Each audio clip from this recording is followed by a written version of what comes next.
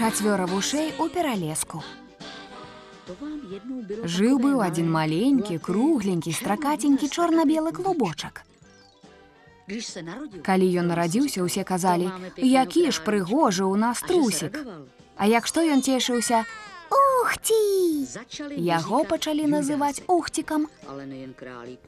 Але маленькія пухнатыя клубочкі нараджаюцца не толькі ў трусоў. У той самы дзень на свет з'явіўся і маленькі зайчык. Ён увесь час рабіў ахці і яго пачалі клікаць ахцікам. Як вушастыя хатку будавалі. Пасяліліся яны на адным пералеску. Зайчык у адным канцы пад высокай сасной, а трусік у другім канцы пад бэзавым кустом. Як што яны пасябравалі, дык захацелі пабудаваць сабе трэцюю хатку. Супольную. Ён павінен недзе быць, мы ж яго цэлы вечар учора малявалі. Калі я яго не знайду, дык не магу ахціку на вочы паказацца. Тут няма і тут няма. Ура! Вось ён! Цудоўны план самай прыгожай хаткі для сяброў. Ускрыкнуў ухцік і трусіныя лапкі ўжо неслі яго на сярэдзіну пералеску. Зрэшты і ахцік гэтым ранкам не лайдачыў.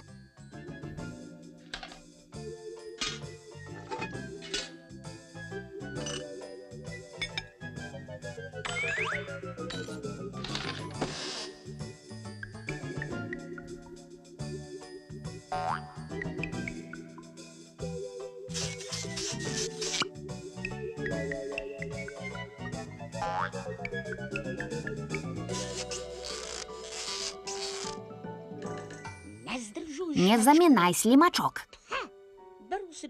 Акенца з відам на лес я забяру ў новую хатку. Гэта трэба бачыць, падумаў слімак. І выправіўся за ахцікам. Пярэбары, праца цяжкая. І вушастыя стараліся, што ставала моцы.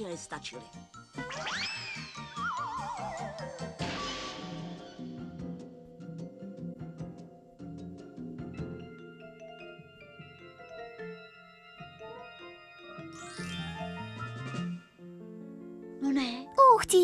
Усё ўжо пагружана.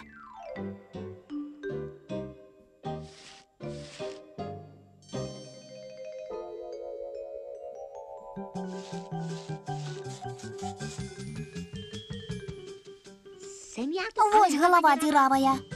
Люстэрка забыўся.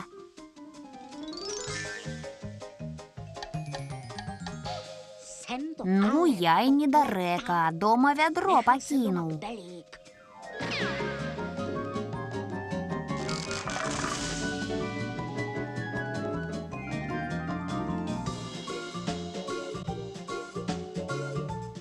Ухцік ды ахцік цягнулі рэчы з-пад бэзу, цягнулі з лесу.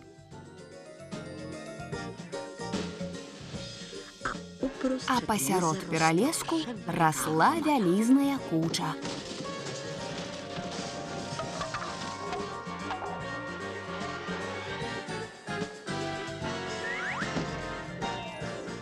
Можна пачынаць. Хвілінку.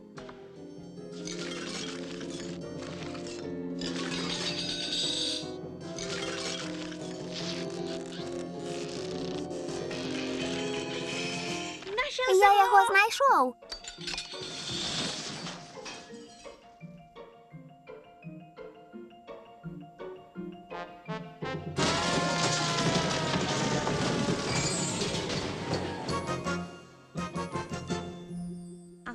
Прабач, ахцік, я не хацеў.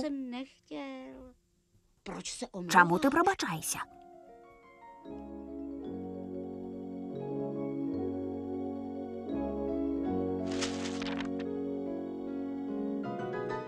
Ты ж паскладаў усе брусы. Паглядзі.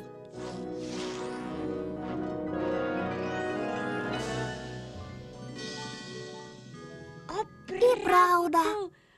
Хатка. Не пераставаў дзівіцца ухцік. Трэба толькі крыху дарабіць. сказаў ахцік.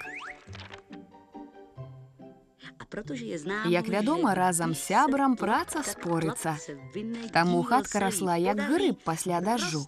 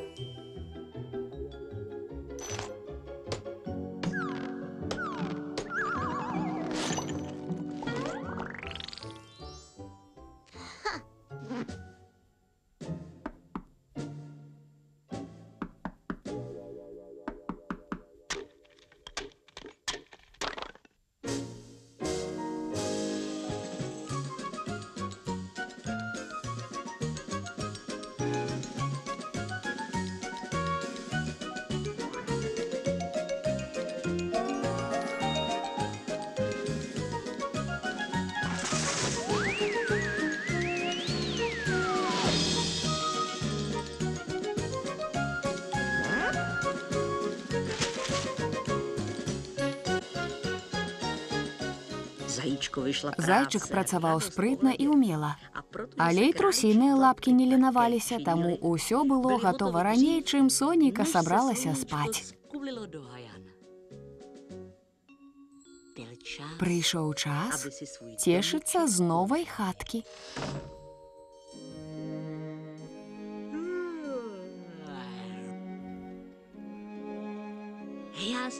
Ахцік агледзеўся і не мог нарадавацца. Як добра, што я ўзяў сваё акенца. У мяне такі ж від на лес, як раней. Я таксама не страціў погляд на свой бэзавы куст. Цешыўся ухцік. І абодва раптам адчулі сябе, як дома. Але ў голас яны гэтага не сказалі, бо самыя важныя рэчы сапраўдныя сябры разумеюць і без словаў.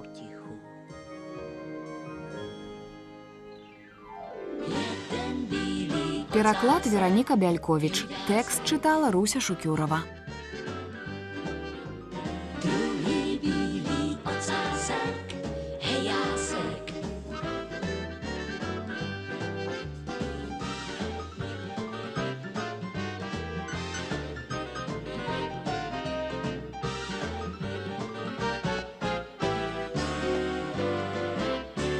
Штырь.